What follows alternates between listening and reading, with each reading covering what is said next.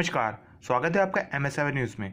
Uttarakhand cabinet के फैसले के बाद जोशीमठ महाविद्यालय को अब विज्ञान संज्ञान संकाय में अध्यापक मिलने जा रहे हैं। सरकार संविदा के आधार पर अध्यापकों की नियुक्ति कर रही है, जिसके बाद विद्यालय के छात्र छात्राओं में काफ़ी खुशी है। वहीं प्रधानाचार्य ने बताया कि इस जियो पर प्रक्रिया चल रही है। कुछ दिनों बाद पता चल जाएगा कि विश्वविद्यालय किस प्रकार से अध्यापकों की नियुक्ति करता है।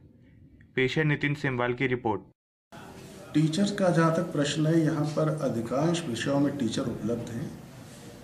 केवल यहाँ पर स्नातक स्तर पर जो विज्ञान की कक्षाएँ संचालित हो रही हैं, उसमें भौतिक विज्ञान, रसायन विज्ञान और गणित विषयों में शिक्षक उपलब्ध नहीं है। इसके लिए कई बार मैंने उच्च अधिकारियों से वार्ता की है, उनको लिखित भी आवेदन भेजा है। और अभी ज्ञात हुआ है कि शासन द्वारा ये कैबिनेट में रखा गया है इस मसले को। और बहुत शीघ्र ही इसका शासनादेश जारी होने की आशा है।